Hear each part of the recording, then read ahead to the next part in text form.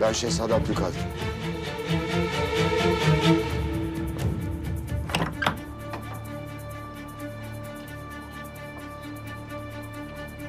Gel.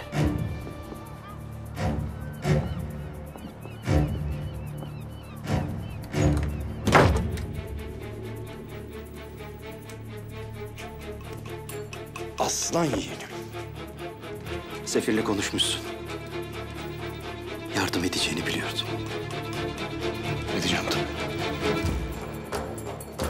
Biraz konuşalım dayı. Tabii.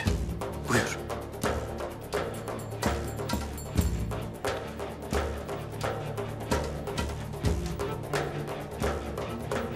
Bana büyük kumpas kurdular aslanım. Çok büyük kumpas. Sana inanıyorum dayı.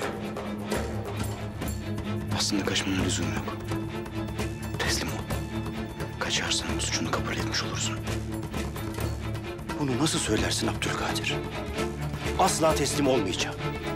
Bir gün bile suçsuz yere zindana giremem ben.